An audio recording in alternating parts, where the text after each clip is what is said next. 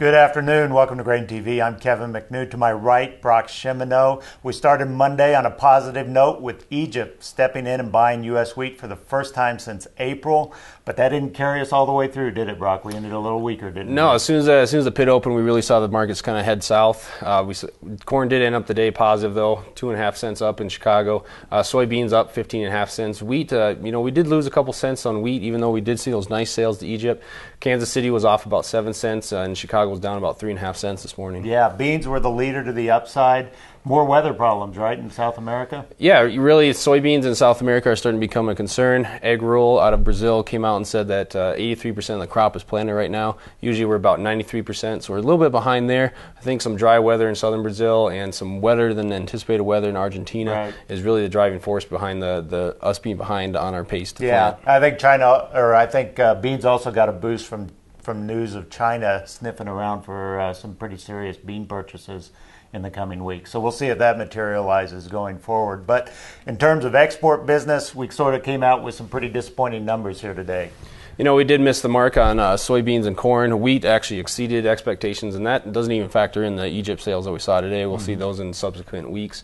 But if we take a look at this chart that we've been following all marketing year long, the green line is what we should be expecting for sales given seasonalities, or excuse me, inspections of exports uh, given seasonalities. The red bars are what we actually are seeing. On this soybean chart, you can see that we did meet our expectations, but analysts had a little bit higher expectations, so we did meet, meet uh, miss the market's analysts' uh, expectations for this, this week in export inspections. Uh, we are still 184 million bushels ahead of pace, and we gained about 7 million bushels this week. So pretty good overall for soybeans, even though we were a little bit lower than what analysts were expecting this week.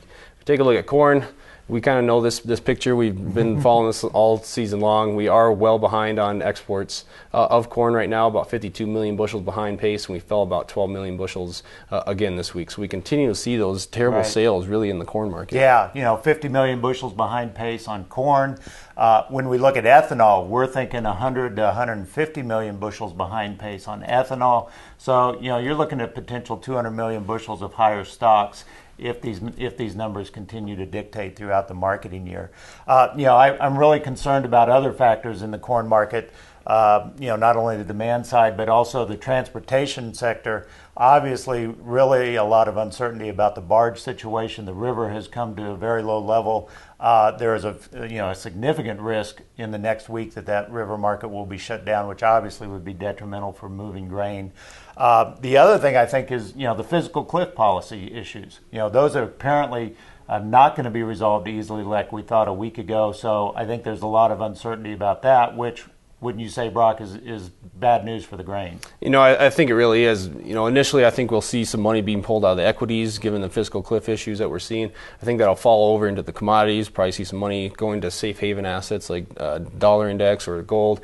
But you know, if if I'm a producer and I'm looking towards the end of the year, what what is uh, your thought on what we should be doing to protect ourselves uh, right. up until the end? Well, the year? Well all these factors combined lead me to be looking pretty seriously at some price protection.